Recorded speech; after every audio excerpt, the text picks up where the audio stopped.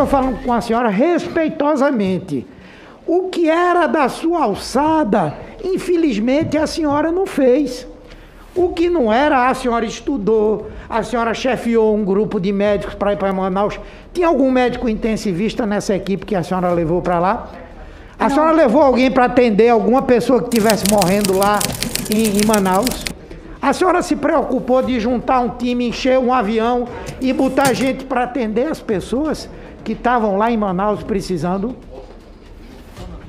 Sim. Sim? Sim.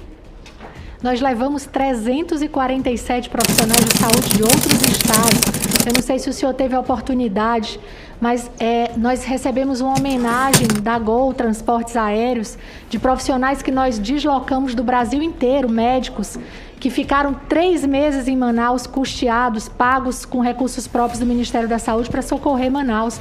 Todos esses mais de 300 profissionais, senador, foram treinados por nós, fizeram sequência rápida de intubação no local. Nós ficamos 90 dias com esses profissionais lá.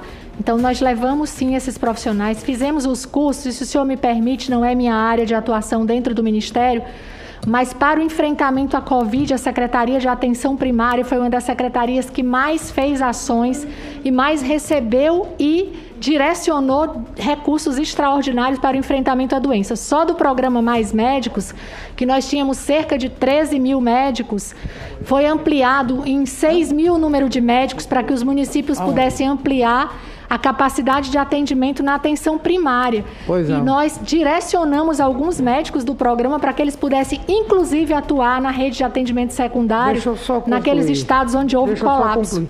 Parabéns, é pena que isso não aconteceu no, no restante do Brasil.